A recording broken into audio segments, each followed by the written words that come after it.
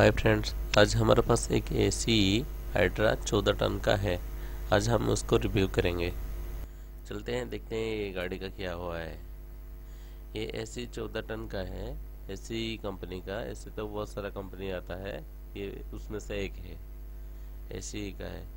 देखिए, ये साइड आगे वाला टायर में ब्रेक नहीं आ रहा है।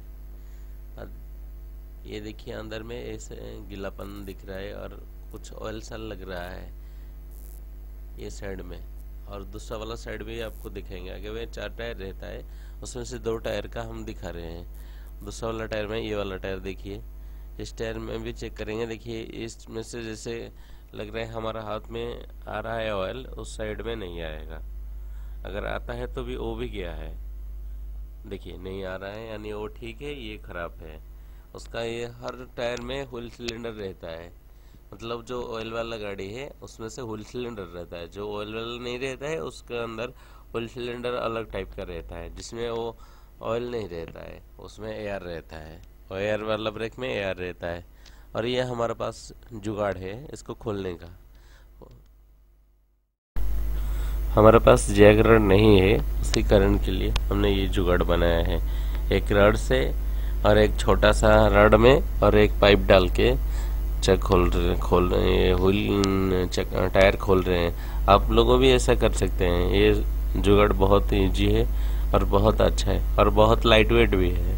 क्योंकि ये उतना भारी नहीं है कि जो कि इसको पकड़ सके। एक आदमी भी कर सकता है इसको। देखिए कितना अच्छा से हो रहा है।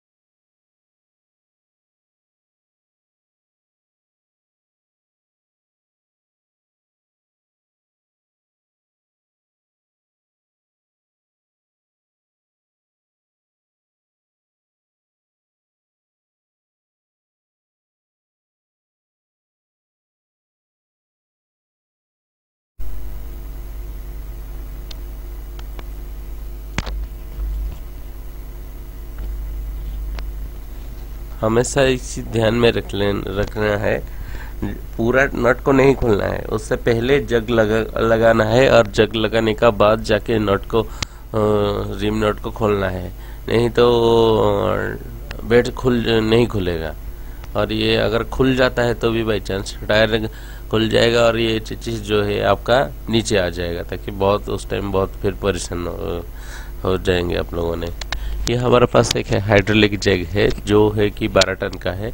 ये हमारा 14 टन गाड़ी के लिए 12 टन का जग ठीक है। और ये बहुत कम रेंज में आ जाता है। वो जो मैकेनिकल वाला आता है, वो थोड़ा बेकार सा लगता है। मतलब उसको उठाने में दिक्कत लगता है। ये इजीली हो जाता है और इजीली भी उठ जाता है और इजीली भी डाउन हो जाता है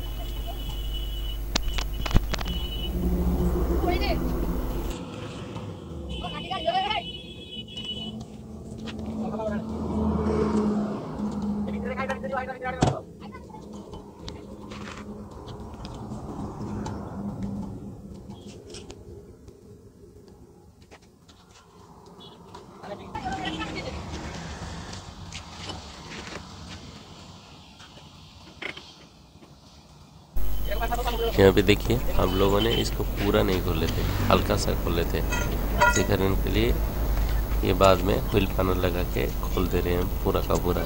पूरा खोलने के बाद ये वो स्टार्ट में थोड़ा क्रैक आ जाता है तो स्क्रैच आ जाता है, स्क्रैच आ जाता है। क्योंकि ये रिम एडजस्टेबल नहीं रहता है इधर उधर हो जाता है। उसके कारण इसलिए ये जब जग नहीं लगाते थे तो इसलिए उसको उस टाइम से ढील हल्का सा मतलब ढीला रखते थे। पूरा नहीं खुला जाता है इसको। यहीं पे भी आप लोगों ने कभी ट्राई मारेंगे तो ये इसको पूरा नहीं खोलेंगे। जग जैसे उठ जाएगा थोड़ा बहुत, तब जाके ये इसको पूरा खुलना है। तो ये इसमें से और कुछ दिक्कत नहीं देता है।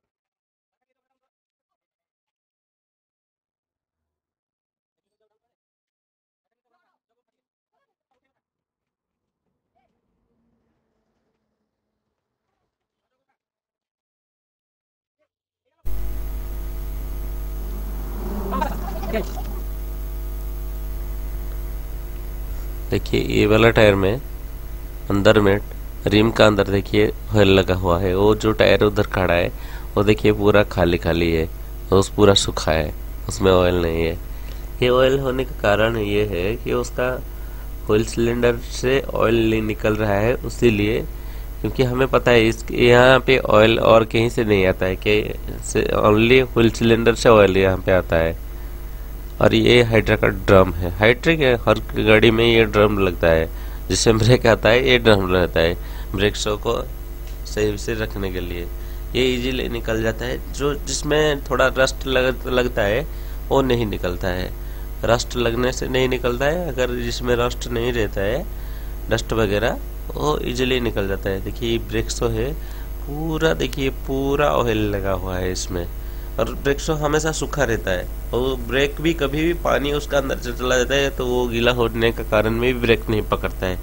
इसलिए कहीं पे भी आप लोगों ने गाड़ी, अगर कोई भी जो भी चलाता है, पानी पे गाड़ी नहीं चला जाता है। पानी पानी का अंदर ब्रेक शो का अंदर पानी अगर चला जाता है तो ब्रेक नहीं पकड़ता है।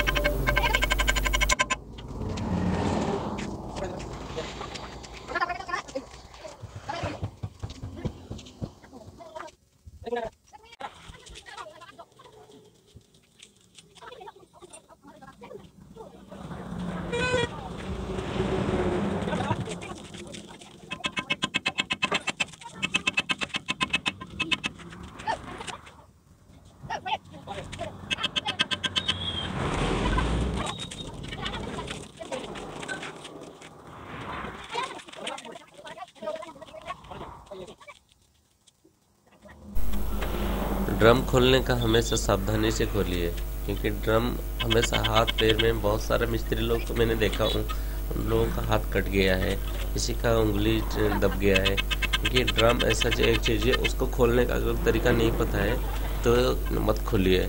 हम जैसे खोले हैं, जिस ड्रम को, उस टाइप का आप ड्रम खोल सकते हैं। इजीली वो निकल जाएगा। और ये ड्रम देखिए, इसको थोड़ा बहुत अगर ये ख़राब होता है तो इसको पॉलिश थोड़ा सा लेद पे कर लीजिए। नहीं तो इसमें अगर आपके पास प्लांट पेपर है जिसमें बालू रेती पेपर का बालू वाला पेपर बोलता है वो भी लगा सकते हैं। अगर वो भी नहीं है तो मिट्टी वाला ईटर रहता है वो भी लगा सकते हैं उसमें कोई देखिए ये व्हील सिलेंडर है और उसका ऊपर में जो प्लेट है वो डस्ट गार्ड रहता है। और ये देखिए दोनों साइड में कटा हुआ है शायद ऑयल देखिए आप मेरे को दिख रहा है आपको दिखता है कि नहीं दिखता है पता नहीं लेकिन ये ऑयल निकल रहा है दोनों साइड से। अभी उसको हम खोलेंगे, देखिए ऑयल दोनों साइड से। और ये जो स्प्रिंग है स्प्रिंग का ऊपर भी ऑयल आता है ऑयल आ जाता है। ये ज़्यादा, जितना दिन अगर ये ज़्यादा दिन अगर ये चलेगा तो ये बहुत स्प्रिंग को भी ख़राब कर देगा, क्योंकि ब्रेक ऑयल कहीं पे भी लगता है, वो तो बहुत जल्दी डस्ट उसमें आ जाता है जंक लगने लगता है। तो अब हमेशा एक चीज़ याद रखेंगे ब्रेक ऑयल कहीं पे भी खुला भी मत रखिए। और ब्रेक ऑयल कहीं पे भी लीक अगर होता है तो तुरंत उसको ठीक करो नहीं तो आपका गाड़ी में ब्रेक कभी भी नहीं आएगा। ये पीछे में जो तीन नट दिख रहा है, एक ब्रेक पाइप लग रहा है और वो दोनों दोनों साइड पे दो नट उसी को खोलना पड़ेगा। उसको खोलने से ये फुल सिलेंडर निकल जाएगा। देखिए, ये हमारा फाइनली फुल सिलेंडर निकल गया है। और ये ऊपर में, देखिए ये वाला, ये पूरा का पूरा, देखिए, निकल गया है। और ये देखिए अच्छा से पूरा, एकदम पूरा डस्ट है। अभी तो सब सर, सबको साफ़ करना पड़ेगा। सबको साफ़ करने के बाद दिखाते हैं आपको कैसा ये दिखता है। देखिए, ये वाला जो है, ये उसका डस्ट कार्ड है। और ये व्हील सिलेंडर जो नीचे सिलेंडर टाइप का दिख रहा है, ये सिलेंडर है। और दोनों, ये ये दोनों साइड में दो पिन रहता है, वो सिलेंडर पिन, इसको बोला जाता है। वो सिलेंडर पिन बहुत कम खराब होता है, वो भी ठीक हो जाता है, नहीं तो वो नया भी मिल जाता है बाज़ार में। जैसे दुकानदार के पास जाए, चला जाएँगे तो वो मिल जाएगा देखिए सिलेंडर से ऑटोमेटिक वो लीक कर रहा है। नहीं, दोनों साइड से कहीं ना उतना, कहीं तो कुछ फॉल्ट है, उसी लिए तो वो निकल रहा है। नहीं तो ऐसे नहीं निकलता है ये।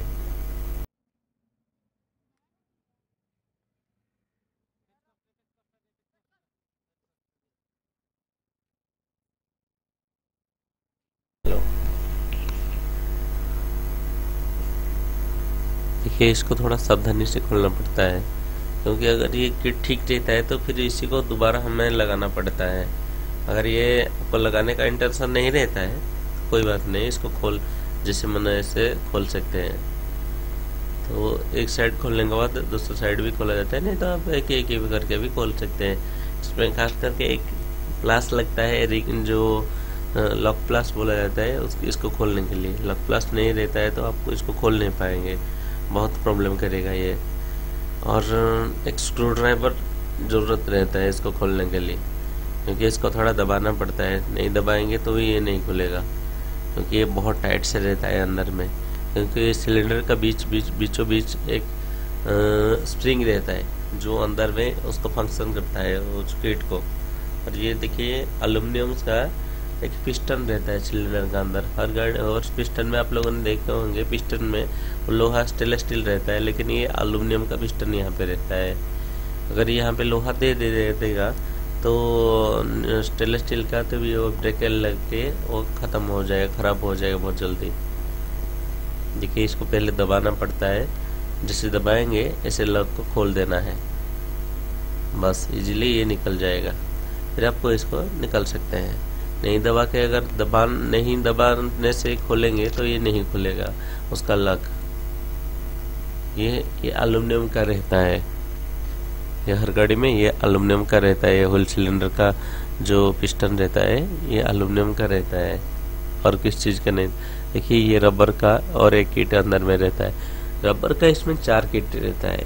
दो, दोनों साइड में सिलगार्ड रहता है और अंदर में दो किट रहता है। हम अभी देखेंगे, ये देखिए, ये कटा हुआ है, वो जगह पे, देखे? पूरा, देखिए, कट गया है ये। इस, यहाँ से लीक कर रहा है। और अंदर से भी, यहाँ से अगर भी खराब होता है तो भी लीक करता है, नहीं तो भी नहीं निकल लीक करता है। अंदर वाला भी थोड़ा बहुत खराब है, इसीलिए ऑयल यहाँ पर आ जाता है, देखिए। इस साइड का भी, यहाँ पे भी आके कट कट रहा है। यानी दोनों साइड का ये कट गया है। इसको भी ठीक करना ज़रूर रहता है। अगर आपको इसको ठीक नहीं करना है तो नया भी डाल सकते हैं, कोई बात नहीं। अगर ठीक करेंगे तो कम खर्चे में हो जाएँगे। अगर नया डालेंगे तो ये ज़्यादा खर्चा नहीं, वो पंद्रह सौ, दो हज़ार का अंदर ही आ जाता है। देखिए कितना डस्ट है। पूरा को पूरा कचड़ा है। इतना कचड़ा नहीं रहना चाहिए। अगर ये इतना कचड़ा रहेगा तो ये जो एल्यूमिनियम का पिस्टन रहता है, वो फ़ंक्शन नहीं करेगा। अब जब ब्रेक दबाएँगे, वो ब्रेक पकड़ेगा नहीं। जब ब्रेक छोड़ेंगे तो कभी कभी भी ब्रेक जाम हो जाता है। मतलब अगर टायर जाम हो जाता है तो इसी कारण के लिए वो अंदर बाहर आ जाता है, अंदर नहीं जाता है, जा पाता है। देखिए, जो स्प्रिंग का बारे में बोल रहा था, इसका अंदर बीचों बीच में ये स्प्रिंग रहता है। ब्रेक डालने का वो अंदर में ये इसको खोलने से वो दिखेगा। वो एक स्प्रिंग रहता है। हाँ ये वाला स्प्रिंग है उसका। और इसमें कुछ रॉकेट साइंस का कुछ काम नहीं है कि जो नहीं कर पाएगा कोई भी ऑपरेटर इसको खोल के कर सकता है। उसका पास थोड़ा सा बेसिक नॉलेज अगर रहता है तो ये कर लेगा। इसके लिए कोई मिस्त्री का भी ज़रूरत नहीं था, नहीं रहता है। इधर जो ऑपरेटर था, हम इसको इसी दिन सिखा रहे थे इसको। पूरा हमारा ये वीडियो बनाने का मकसद ये है कि हर ऑपरेटर को पता चले जो कि बेसिक नॉलेज है। और इसके लिए कोई मिस्त्री का ज़रूरत नहीं रहता है। ये अपने खुद भी कर सकता है। ताकि कहीं पे भी रोड का साइड में, अगर कहीं जंगल झाड़ी में गाड़ी कुछ खराब होता है तो ये ठीक अपने आप कर सकता है जैसे, खुल के। ये वीडियो का मकसद वही है, और कुछ नहीं है। इसको पूरा डस्ट है, इसको पूरा का पूरा साफ़ करना पड़ेगा, पूरा का पूरा। अगर आपका पास डीजल की नहीं है तो भी इसको पानी से, पानी में भी साफ़ कर सकते हैं। पानी में साफ़, देखिए, पानी में साफ़ करने का ठीक है लेकिन पानी में साफ़ करने के बाद इसको देखते हैं पूरा सूखा, एकदम इसमें थोड़ा सा ही पानी नहीं लगना चाहिए। हमारे पास पानी का बाल्टी था, उसीलिए हमने इसको पानी में साफ़ कर लिया। हमारे पास डीजल थोड़ा भी नहीं था मतलब ज़्यादा नहीं था, इसलिए इसको पानी में साफ़ कर, पानी में साफ़ करने के बाद थोड़ा बहुत भी आप किरोसिन डीजल में साफ़ करेंगे, इसको करना ज़रूरी रहता है। नहीं करेंगे तो इसमें फिर डस्ट आ जाए, क्योंकि वो ये लोहा है, लोहा का अंदर पानी रहता है तो थोड़ा सा भी कहीं पे भी, उसमें डस्ट आ जाएगा। ये देखिए, पुराना वाला किट दो है और ये स्प्रिंग स्प्रिंग सिर्फ़ लगेगा और ये दोनों किट नहीं लगेंगे। जैसे स्प्रिंग आप लोगों ने खोलेंगे, उस टाइप का ही स्प्रिंग जैसे खोलते हैं, ऐसा ही लगता है। उल्टा उल्टा नहीं लगता है। और ये स्प्रिंग में तो उल्टा कुछ नहीं रहता है, जैसे खोलते हैं, ऐसा ही लगता है। क्योंकि ये दोनों दोनों मुंडी, दोनों साइड का समान रहता है। और इसमें एक ब्रेक का, हमेशा ब्रेक टाइट करने से वो सिलेंडर में एक नोजल रहता है, ब्रेक जो एडजस्टिंग करते हैं, उसका एक नोजल रहता है। उसको भी खोल के आपको साफ़ करना पड़ेगा। वो सिलेंडर होल सिलेंडर का ऊपर में, जैसे उस टाइम हमने दिखा रहे थे, तीन नट तीन नट का ऊपर एक पिन रहता है, जो कि नौ नंबर का रिंग लगता है रिंग पाना लगता है। ये साइज़ पाना में इसको खोलने का कभी ट्राई मत करना, क्योंकि ये स्लिप हो जाएगा तो नहीं खुलेगा। हमेशा इसको रिंग पाना में खोलने से ट्राई करना ठीक रहता है। रिंग नहीं तो पाइप वाला रेंज छोटा वाला अगर कुछ रहता है तो उसी में। क्योंकि वो नोजल अगर स्लिप कर जाए एक बार तो वो कभी रेंच रिंच नहीं पकड़ता है उधर। कोई भी पाना नहीं लग, लगता है। इसीलिए हमेशा वो नौ नंबर रिंग में उसको ट्राई करने से ठीक रहता है।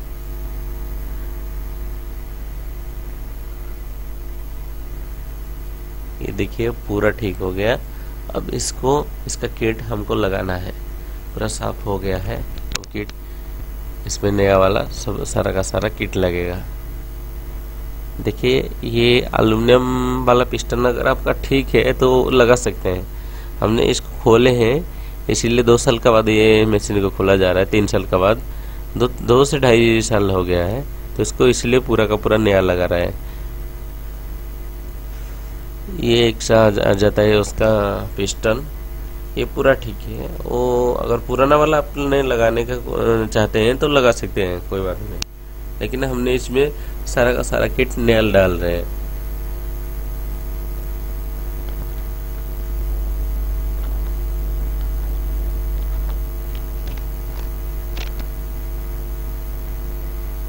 देखिए, इसमें ये रबर वाला किट, जो चार आइटम रबर वाला रहता है ये इसके अंदर वो किट रहता है। किट भी वो ढाई सौ, तीन सौ का अंदर इसका किट दोनों, चार रबर सेट इसका आ जाता है। रबर वाला की जो किट है, चार वो तीन सौ का अंदर ही आ जाता है। बहुत सस्ता में आ जाता है, ऐसे कोई महँगा ही नहीं है।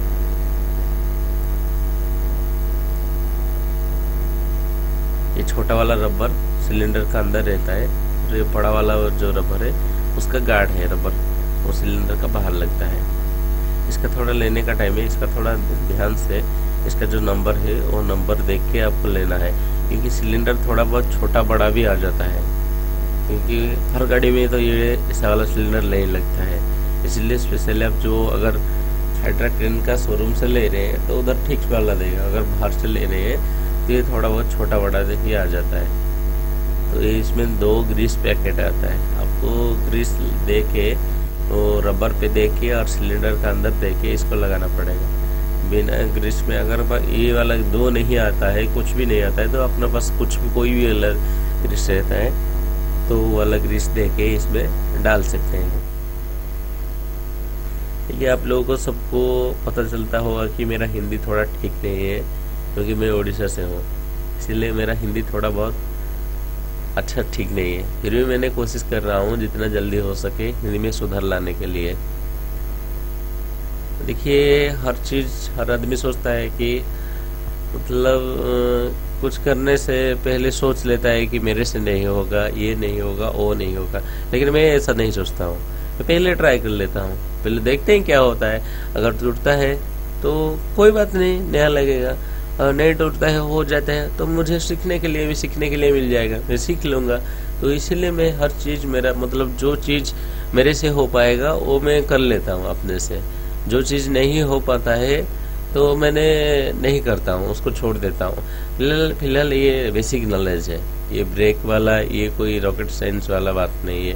इसमें कोई भी ट्राई कर सकता है, कोई भी खोल के इसको ठीक कर सकता है। सिर्फ़ एक लॉक प्लस होना ज़रूरी है। और एक आठ नंबर वाला रिंग, नौ नंबर वाला आठ, नौ, रिंग पाना ज़रूर रहता है। ये नहीं होगा तो ये खुलेगा नहीं ठीक से। और ये नहीं खुलेगा तो ये हुल सिलेंडर भी नहीं खुलेगा। देखिए हमने फाइनली इसको फिट कर दिए हैं। फिट करने के बाद इसको टेस्ट करने का ज़रूरत रहता है। देखिए। ये अंदर एकदम आराम से जाना चाहिए इजीली और जैसे हम इसको अंदर लेंगे छोड़ेंगे तो ये बाहर भी उतना इजीली निकलना चाहिए। देखिए, ये साइड का भी इजीली निकल जाता है। देखिए, अंदर डालते हैं तो ये बाहर निकलता है। तो ये फाइनली हो गया है हमारा ऑयल सिलेंडर इसको अभी लगाने का काम बाकी है। इसको टायर में अभी फिट जिस जिस तरफ़ खोले थे इसको, उस टाइप का इसको अगर फिट कर देंगे तो ये हो जाएगा, कोई प्रॉब्लम नहीं। ये चलेगा। क्योंकि इसको हमने टेस्ट आपका सामने कर लिए हैं। टेस्ट देखेंगे, इसको फिट करने के बाद अगर ये पिस्टन अंदर जाता है तो बाहर नहीं निकलता है तो इसको मत लगाइए। फिर इसका अंदर ये फुल सिलेंडर का ड्रम जो है, वो खराब है। अगर अंदर डालने के बाद ये बाहर निकलता है तो ठीक है। देखिए, उस दिन रात हो गया इसको फिटिंग करते करते तो इसलिए रात वीडियो बनाना पॉसिबल नहीं रहा। इसीलिए रात को इस टायर डालने के बाद इसको दिखा रहे हैं। ये ब्रेक एडजस्टिंग बाईस नंबर का लगता है तो इसको थोड़ा देख के आप लोगों ने एडजस्टिंग कर सकते हैं। जितना आपका ये जो होल दिख रहा है, इसमें ब्रेक दिखता है। ब्रेक एडजस्टिंग थोड़ा बहुत ये भी कोई रकट है, इनका काम नहीं है। इजीली है इसको एडजस्टिंग करना। देखिए मैंने पहले से ही बोला हूँ, अगर कोई चाहता है तो कर लेगा, नहीं चाहता है तो वो नहीं कर पाएगा। Thank you bye bye